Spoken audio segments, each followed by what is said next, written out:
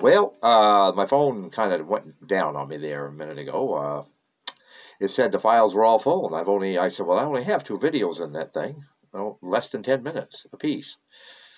So I had to uh, delete some files, and uh, well, here I am back again. I'm still learning the gospel music uh, and the Cajun sound. Um, let's see if I can do Amazing Grace here.